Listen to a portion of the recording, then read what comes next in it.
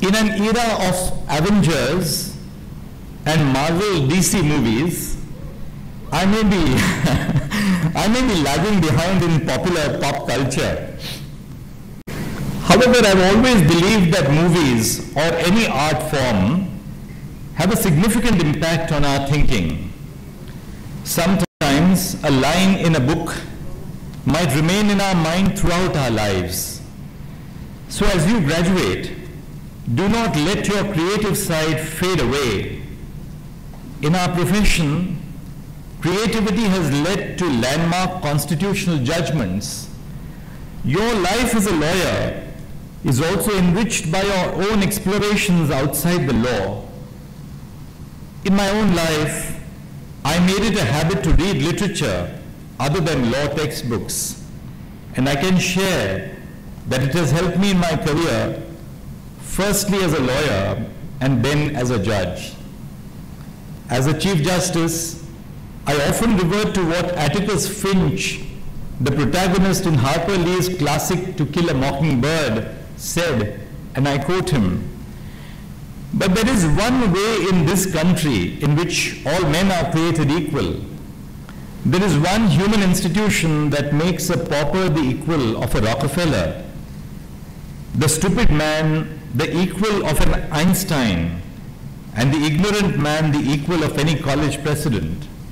That institution, gentlemen, is a court. Our courts have their faults, as does any human institution. But in this country, our courts are the great levelers, and in our courts, all men are created equal. Justice Elena Kagan, a judge of the United States Supreme Court, once quoted a line from the movie Spider-Man in her judgment, which goes like, in this world with great power, there must also come great responsibility. Thus, while your graduation brings a feat of happiness and joy, there must also be a realization of self-responsibility that wherever you go, you strive towards healing the world and the lives of the people around you. Nalsar is celebrating its silver jubilee. It is an achievement for the institution to have shaped the lives of so many students over the years. I congratulate the leadership of the university for this impressive achievement. Institutions of every kind play a crucial role in society.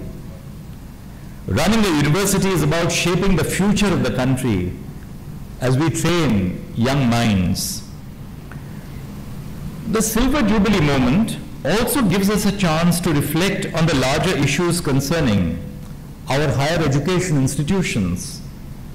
There may be many issues in terms of policy decision making on higher education, but I wish to reflect on the state of higher education from a philosophical perspective, from the lens of empathy.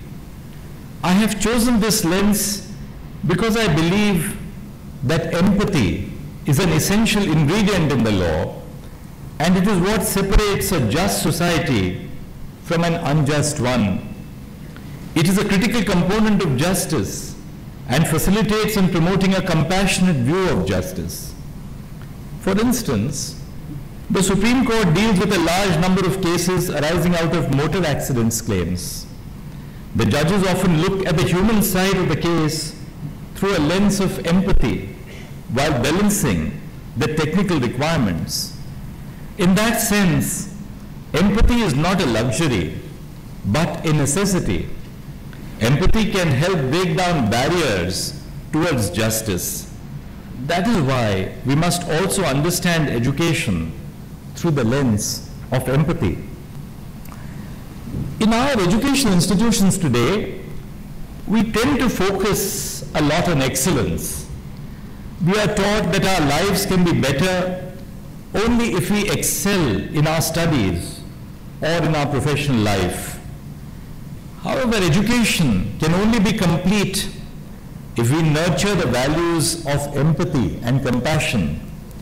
Our educational institutions must not limit themselves to promoting competition among students, but also shape their outlook towards life where empathy is a crucial component and element. Excellence in life cannot go without empathy. Lack of empathy in educational institutions has adverse effects on students.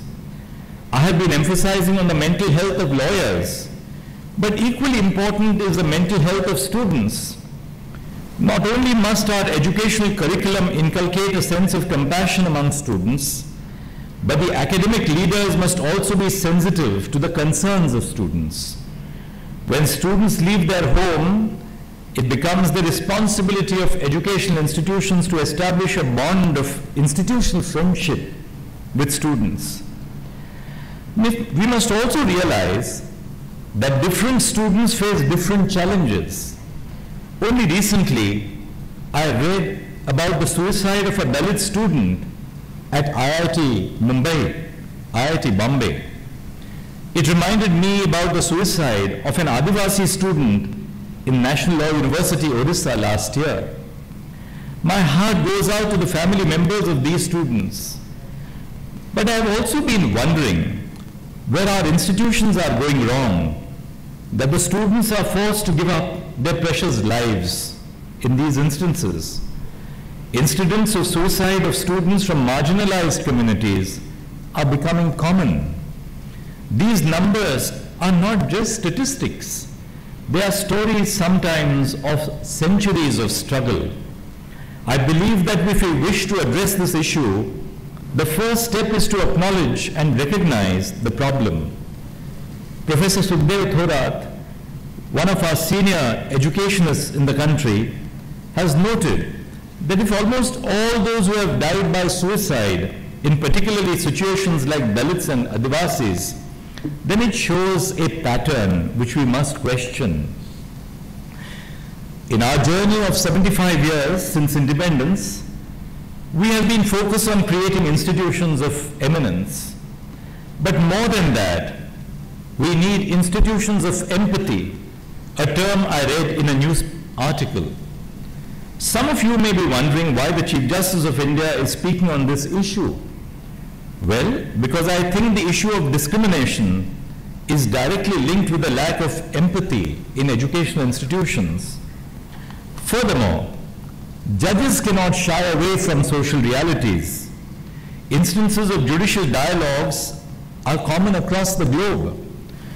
When the Black Lives Matter movement emerged in the United States after the murder of George Floyd, all nine judges on the Washington Supreme Court, the highest court in the state of Washington in the United States, released a joint statement addressed to the judiciary and the legal community on the degradation and devaluation of black lives in the United States. Harvard Law School professor Michael Klarman notes that history tends to forget the equally groundbreaking work that several civil rights lawyers did outside the courtroom in educating the black community about their rights under the Constitution.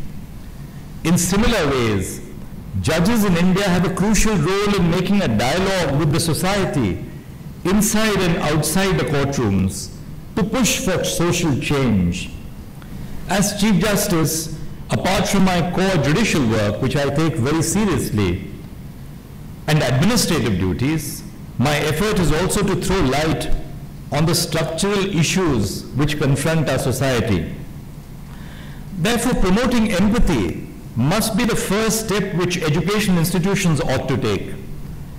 Nurturing empathy can end the culture of eliteness and exclusion. This can be done by starting with small steps, allotment of hostels, based on entrance marks, which leads to caste-based segregation, putting out a public list of marks along with social categories, asking for the marks of Dalit and Adivasi students publicly to humiliate them, making a mockery of their English and physical appearances, stigmatizing them as inefficient, not acting on incidents of abuse and bullying, not providing a support system, or reducing or stopping their fellowships, normalizing stereotypes through jokes are some of the basic things which every educational institution must stop. In other words, practicing empathy is not just a personal attribute, but it requires institutional change. Institutional change in every walk of life, within and outside the judiciary, including in our educational institutions.